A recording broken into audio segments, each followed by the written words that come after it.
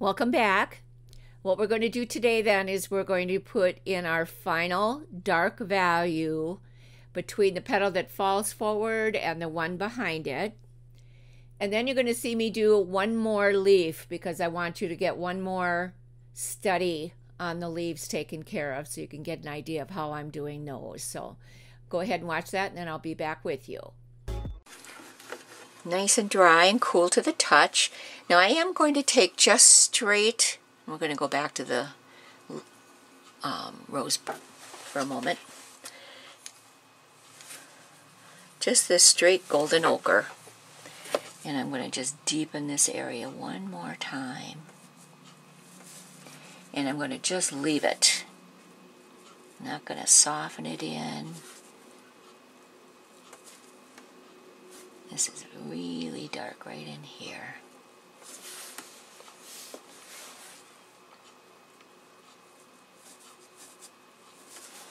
There we go. I think that's going to accomplish what we're looking for there. All right. Now we can go back to doing our leaves. We're going to do this leaf first. It's kind of an oddball leaf. It has a little bit of a yellow flip right here.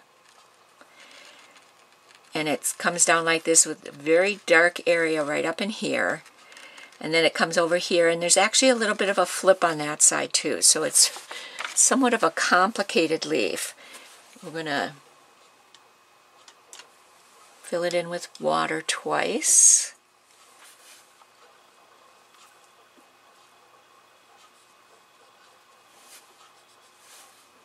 now I paint on a flat surface so I don't get any usually any drips towards the bottom or anything.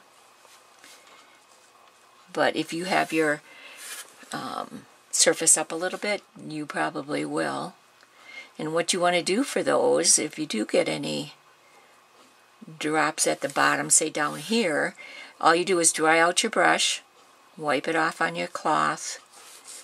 Again, I use a baby diaper, so absorbent. And lay it down on that water droplet, let it absorb it. Um, picking up the moisture. Wipe your brush out again if you need to. Do it again until that moisture is to where you want it. So you control your water.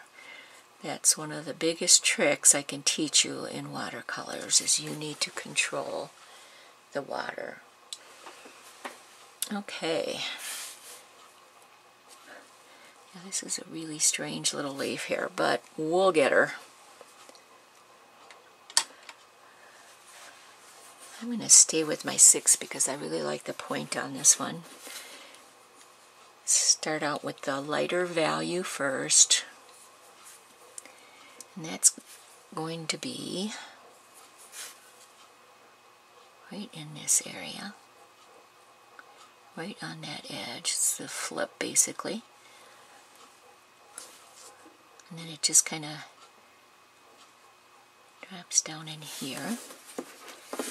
Right up here is a lighter value. It's almost a blue value though, which we can always add in later as we're doing detail. Now this comes out because like I said there is a flip there, but there's some light there. clean my brush wipe off a lot of the moisture, pick up the light value. Need to create some more of the light. I got more dark than light, or mid value I should say. Alright. Now I am going to run this mid value right down this outside edge here because that's where that flip is.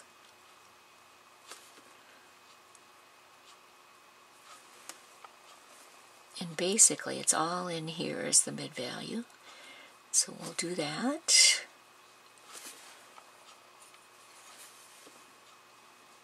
Reload your brush as you need to pretty dark in this area. This area is very dark.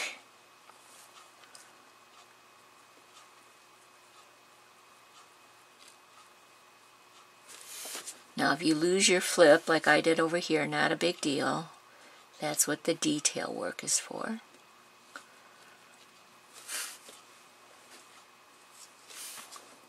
Now this comes down to about here and then the rest of that is dark. So I'm going to pick up the dark.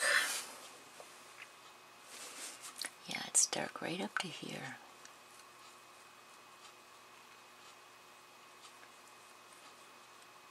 And again, this is just mingling. Needs a little bit more water in my paint. Mingling these colors together.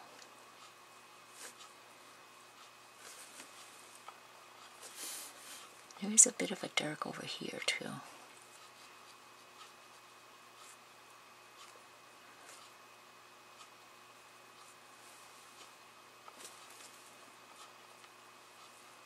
Just double checking my photograph.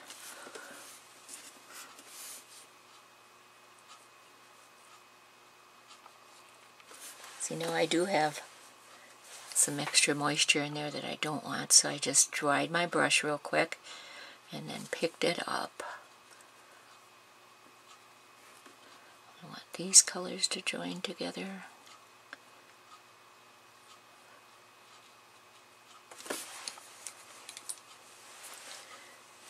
Now I'm going to go back here. It might not be dry enough, but yeah, it looks like it is. Pick up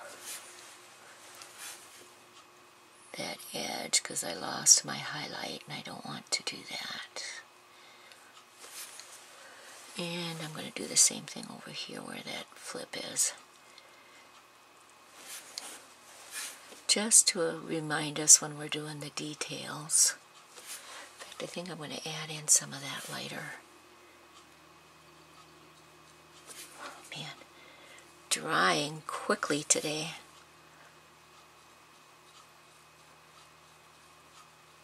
See, I took some of that paint out of there, so now the yellow is adhering to it, so that's a good thing.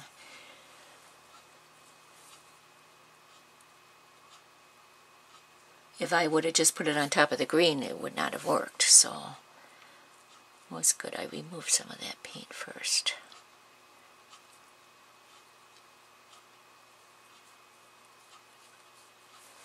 Here we go.